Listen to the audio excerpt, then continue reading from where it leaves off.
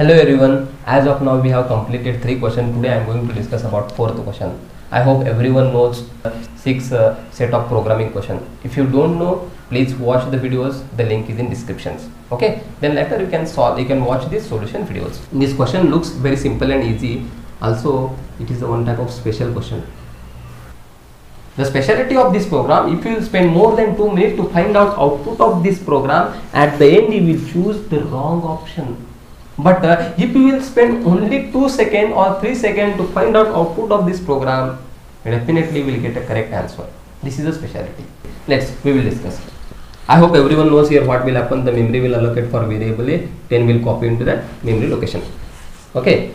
Then very important discussion is all about on this second line. If you know the concept of the second line, then you will solve this question within 2 seconds. Okay. See, one of the biggest mistake the student used to do here, they used to think uh, bitwise not of A, they are doing only bitwise not of A. Is it correct expression? They used to think, is it correct expression? Hey, no, this is not correct expression, sir. So they will think uh, the compiler will generate error. That's why they will choose option D, error one thing is sure this code never generate any error. That's why remove this option code why we are not getting error here and what exactly happening here all those things we will discuss. Okay? To understand what exactly here happening we should know we should know the concept of bitwise not operator. So we will discuss the concept of bitwise not operator. The first point about bitwise not operator the first point about bitwise not operator bitwise not operator is a unary operator bitwise not operator is a unary operator. Means it requires only one operand. So here look look at here. Bitwise not operator along with one operand. Means i have passed one operand. Means it is correct expression. So please don't say this expression will give error. Okay? This is the correct expression.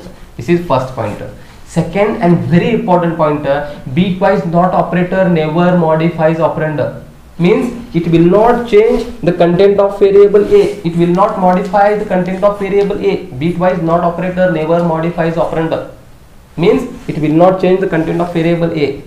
That's why whatever the value available in variable a it will remain same uh, after execution of this line also. So at the end uh, here uh, we will get output as a option a. At the end we will get output as option a. In your mind you will get one question. Then what is the use of these expressions there is no use of the there is no use of this expression sir. It is not affecting on this because of this expression there is no any impact on this code. To confuse the student to filter out the student they have given such type of expressions in the program. That's it. There is no any other motto.